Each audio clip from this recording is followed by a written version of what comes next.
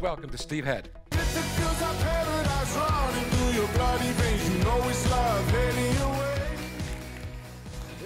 How are you doing? I can see that some of you actually going, look at me, look at me.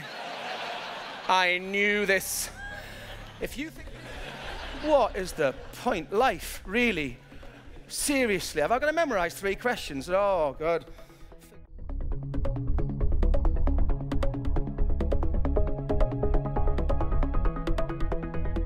Steve, one of the things you talk about in your book is the importance of sort of defining and understanding your purpose mm-hmm. and direction that you're going in. Yeah.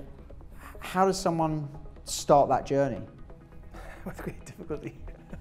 it's not it's not easy because if you if you again running my training programs right you you'll ask an audience maybe a small group large group write down you know answer the question what is my purpose and most people would sit there with a blank sheet of paper going, well, I, don't really know, right? You know, because it's, it's a big question. If I said, what's your goals and objectives for the next week and a half? You know, pay the bills, do this, do that. But what's the reason you're here, right? That's a big question. The start point for it, though, is to, is to get people to think about um, what's important to them. I think so. We, there's, a, there's a whole chunk around value. And I could feel it happening. And I was driving to the country, and the Jeremy Vine show was on, and he had a guest on, and it was a psychiatrist, mental health stuff. I thought this is going to be relevant. Turn the volume up, and he and this guy said, "I'm going to be talking after the break about a, a, an epidemic that's sweeping across the Western world." I thought, "What's this? Is it diabetes? What is it?" But it can't be a psychiatrist. What can it be? And he says, "It's the curse of the strong." And I thought, wow. And then this fella, people ring in the radio show, the Jeremy Vine show, and this bloke rings in. Now, I wasn't writing this down, and it's a lot of years ago, six years ago, but I'll tell you the gist of what it made me think and feel, right? This guy rings up and he goes, Jeremy, I'm self employed, run my own business, I'm very, very determined and driven. I thought, that's me, that's how I was brought up. I always work hard, always push myself to the limits. I want to be the best dad, the best brother, the best son, and the best businessman I can possibly be. I employ a few people, I travel thousands of miles a year, and I try to deliver the best I can for my family financially. I thought, that's exactly how I was wired. This is spot on, brilliant, right up my street. He says, three years ago, I'm driving down the motorway. In mid 40s, I was in my 40s at the time. He said, I pulled over in the hard shoulder, switched the engine off, couldn't drive. Three years I've been out.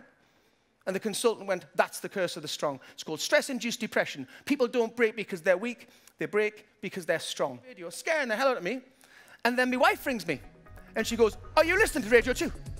And I said, I was. She says, That's you. I says, It's not me, that's him. But I, am fine. This, this only happens to the people. It doesn't happen to me. That's what you always think, right? Anyway, so, so I drove up to Lancaster to cheer teachers up against their will, right? Which is what motivational speakers do, basically. We get you in a room and say, I don't care how you feel, I'm going to cheer against your will. So I did my job. I'm driving down the M6 on a Friday, 16th of November is my birthday. Miserable weather, dark night, raining, M6. Anybody ever drive on the M6 ever? Can I give you a tip? Don't. Especially through Knutsford. I walked to the front door that night. My wife greeted me with two glasses of champagne. She said, honey, happy birthday. I went, oh, when I say champagne, slash cava, if you, if you can't see the bottle, you know what I mean? So, I got me champagne, I sat down, and she said, I've got a present for you. And she handed me this gift, right? This is the actual gift she gave me. She said, uh, that's for you. And it was wrapped. It was wrapped. And I said to her, she'll open it now? She says, yeah. Now, and I opened the wrapping off this book, this, this, which was obviously a book. I thought it was a book on golf. I like a cheeky game of golf. This will cheer me up. Turns out the book my wife had bought was from the thing from the show six months before on the radio. And um, it's called Depressive Illness, The Curse of the Strong, right? Now, I'm not you know, I, am serious about mental health, but I'm not a birthday read. Um, I, I gave it, so I looked at her and says, what's this for? She's like, that, that was off the show that Jeremy Vine thing. I've been worried sick. I bought it for you and I've saved it for your birthday. I could have had a bloody breakdown in the meantime.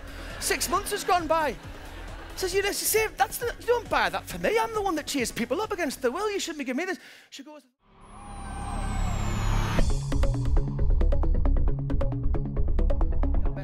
I actually drew, um, in my head, I'm quite, I'm quite a visual person. And I, um, I created a, an image, right? So this is, it's not in the book. This is what I made up. So I read the book through. It's quite scary. And, and I read this thing, and it says, and I thought to myself, imagine a glass coffee table. And when you're one year old, somebody puts a pound weight, that's in old measures, right? For the young that's half a kilogram. Uh, you put a pound weight on the, on the table, and when you're two, you put a second one on, third one on, fourth one on. And every birthday, you just celebrate, but put a commemorative pound weight. Then you get to 55, as I am now, you get to your 56th birthday, you've got this tower of weights you've collected over the years. You place the 56th weight, the, the table cracks, the weights plummet to the ground. That must have been a, a weak table. Not wrong with the table, never supposed to put 56 pound on it. And people say, I break because I'm weak. No, you didn't break because you're weak. You broke because you were strong. You just didn't realize when the cracks started to appear. pay attention. Now, here's another thing that's a bit scary. Let me read this. And I also spoke here in 2010. But how many people have seen me before? Can I just check where you are? Actually, that's not very many. Wow, that's very tiny, tiny. How many people have never seen me before in your lives before today? This bit I'm going to do now is for you. The rest of you, the, the handful of you, you can just do it like. The thing you're going to do here, all I want you to do is, will you do me a favor when I see the slide, and, and if you're at the back, you will have to shout, shout out some feedback for me on the slide you're about to see. Will you do that? Yeah. oh, seriously, I'm looking at your faces, and this is what I've just seen. I don't think so, Steve. Don't you think we've done enough interaction today? Yes, I'll give you feedback. Here's a question for you. Here's one for you, right? You like this? How many people in this room talk to themselves? By a show of hands. Right. Now, whenever you ask that question, you always get the same response. 90% of the hands go up and 10% sitting there going, Do I talk to myself? or you like this. I was in London doing a conference for NHS finance directors. Imagine you lot, but you're all finance directors for the NHS. And I showed this slide and I waited for some feedback. So we said, Good enough. And any meeting, because I guarantee people in your company, some of them, not you, you're fine. But some of them are mood hoovers. And they walk in a room. You know, like you've been away today, learning, learning, building your learning and knowledge up. And you're going to go back to work tomorrow. And you're going to walk through the door of your office or wherever you go, and you're going to go, Muck, you'll have a spring in your step because you haven't been under the daily stresses. You've had a bit of a day away, you've had free food, right? And you're going to go home, go back to work tomorrow, and you're going to go, morning. And they're going to go, is it?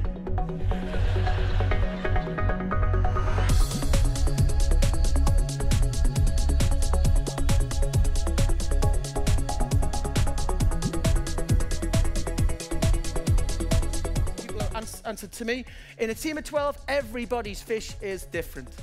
You got to know what the fish is. When you know what the fish is, you, you, you get something more out your team. That's the personal empathy stuff I think Karen was relating to before. That personal stuff. You know something about the fish. That's what the fish is. your bloody veins. You know it's love heading your way.